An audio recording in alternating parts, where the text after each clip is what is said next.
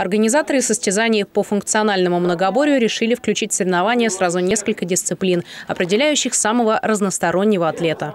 Совместно с обществом «Динамо» УВД Ленинского района проводит соревнования по многофункциональному многоборью среди сотрудников органов внутренних дел. Это помогает в работе, сплачивает коллектив и подтягивает физическую подготовку сотрудников.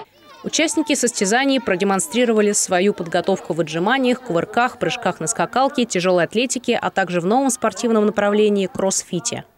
Во всех дисциплинах спортсмены должны были показать свою силу, ловкость и скорость, но командная сплоченность тоже играла большую роль, как, например, в перетягивании каната. Спорт – это жизнь, считает Андрей Терехов. Для него это любимое хобби, которое помогает ему в работе. Тренируюсь для себя, как бы поднятие физического духа и также ну, выглядеть достаточно хорошо.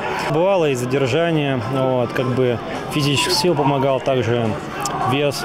Андрей Ильин, мастер спорта по жиму лежа, тоже решил принять участие во всех представленных дисциплинах. Готовился он серьезно и стремился к победе. Участники сильные, но посмотрим. Спорт все покажет, кто сильнее, кто наиболее подготовленный. Все будет видно и все решит именно соревнования.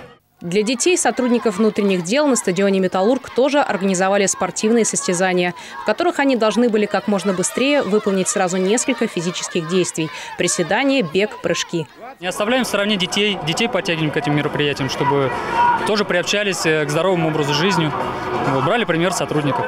Дети и взрослые, несмотря на жару, боролись до победного конца и показали хорошие результаты во всех дисциплинах. А в завершении всех спортивных состязаний спортсменов ждали заслуженные награды. Анастасия Воронина, Александр Логинов, Сергей Ларин. Видное ТВ.